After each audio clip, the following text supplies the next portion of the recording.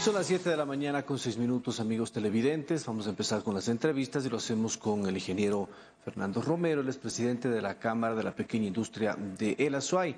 Ingeniero, buenos días, bienvenido, gracias por acompañarnos. Ya tenemos en la provincia de El Azuay, sobre todo en la ciudad de Cuenca, el nuevo alcalde y el prefecto de la provincia de La Azuay. ¿Qué expectativas tienen ustedes, obviamente, con respecto a su situación en el tema de suelo e impulso también a la producción? Bienvenido, buenos días.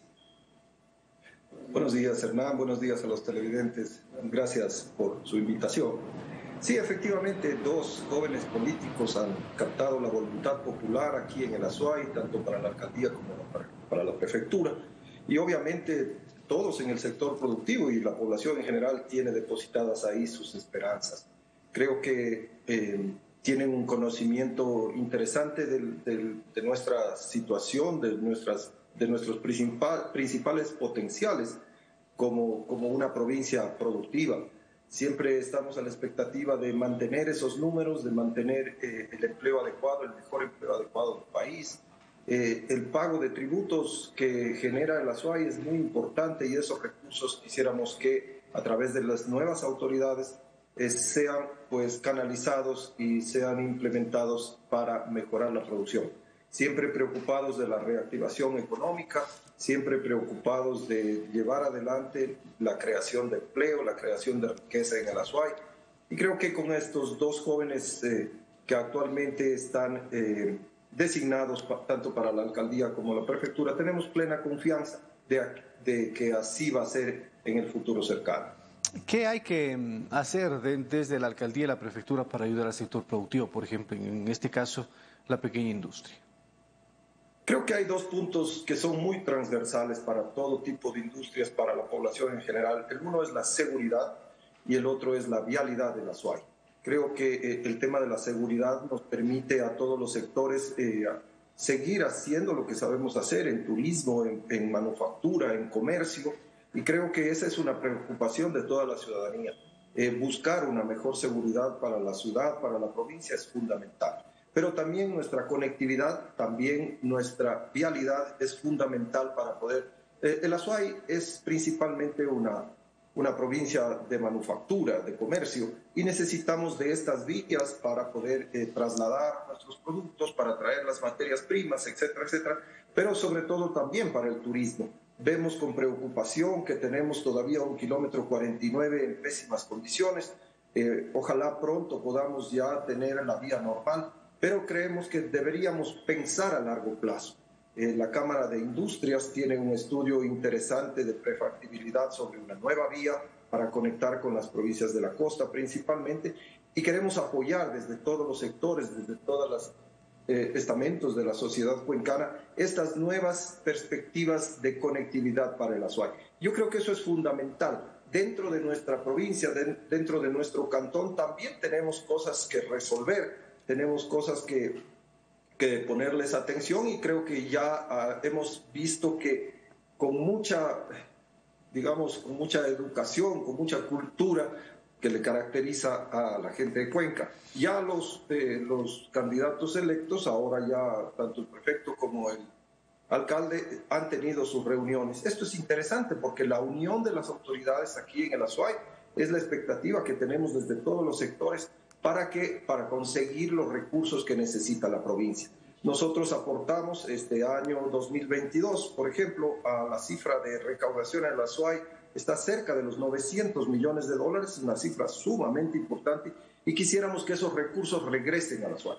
¿Cómo conseguirlo? Pues del gobierno nacional, pues a través de la unión de las autoridades, de tener una sola voz para exigir a las autoridades el regreso de esos recursos para implementar principalmente la vialidad en el Azuay. Casa adentro, ingeniero, en la ciudad de Cuenca, suelo industrial no hay, no hay, así se quiera, no existe, el parque industrial está totalmente lleno y las otras opciones que se han presentado, por ejemplo, como Chaviayacu, no han sido una alternativa para muchos de los empresarios. ¿Qué hay que hacer allí para impulsar el trabajo que finalmente va a repercutir en la generación de nuevas empresas?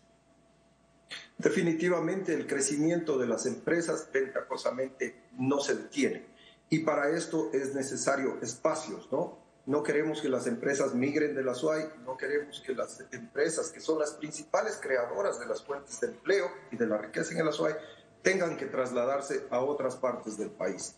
Y es por eso que hemos apoyado eh, desde el principio el plan de uso y gestión de suelo que ya está vigente, el plan de ordenamiento territorial donde se disponen nuevos espacios para el crecimiento de la industria. Confiamos en que esta nueva administración continúe, por supuesto, con esa, con esa planificación, de tal manera que, que podamos pulir definitivamente ya eh, las pequeñas cosas que faltan, las determinantes que faltasen, o sobre todo la tramitología para poder implementar y seguir creciendo en el empresariado. Cuenca siempre se ha distinguido por, por ser pionero en, la parte industrial, en la parte de manufactura, pero estas empresas no se detienen, su crecimiento cada vez es mejor porque sus productos son de primera calidad y son demandados en el Ecuador y en el mundo. Pero necesitamos espacios para seguir creciendo. Y aquí también un llamado a la población de Cuenca para que apoye este crecimiento porque es el generador de riqueza, es el generador de nuevas fuentes de empleo y también no solo cuestión de las autoridades, sino también de la colaboración de la población para que apoye todas estas ideas de tener nuevas empresas, de tener nuevos espacios para cada vez ofertar mayores fuentes de empleo, mayor riqueza para la sociedad. Por último, el tema de seguridad, ingeniero. La preocupación está ahí evidente. Ayer, pues la gente en el sector de Gullo se reunió e incendió un vehículo que aparentemente transportaba a delincuentes que huyeron al intentar robar un restaurante. Estamos complicados. ¿Qué hacer allí? Bueno, por ahí empecé. Realmente esa es la principal preocupación de la ciudadanía.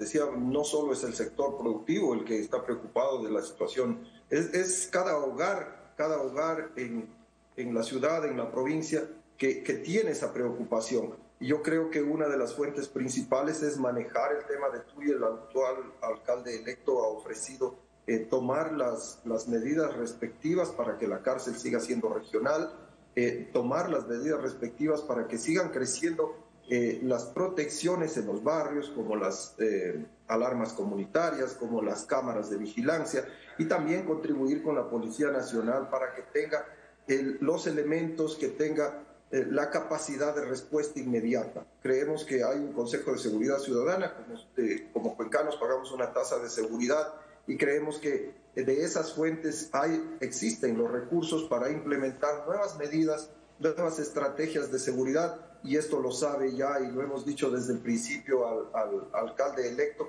que son los dos puntales que, esperamos que tengan la primera respuesta, principalmente el tema de seguridad y el tema de vialidad. Ayer escuché con, con mucha atención las declaraciones del señor prefecto y, la, y veo que también desde la prefectura, sin ser realmente de mucha competencia de la prefectura el tema de la seguridad, también está dispuesto a colaborar. Por supuesto, la vialidad interna de la SUAY es importante, tenemos alrededor de 5.000 kilómetros de vialidad interna que deben ser atendidos y también los 600 kilómetros de vialidad nacional que pues necesitan los recursos del gobierno para, para poder eh, tener una respuesta inmediata para Cuenca. Ingeniero, muchas gracias, muy amable. Ojalá haya respuestas de las autoridades. Tengo un buen día. Muy amable. Gracias, Hernán. Buenos días. Ingeniero Fernando Romero, presidente de la Cámara de la Pequeña Industria de la SOI. 715. Volvemos con más enseguida.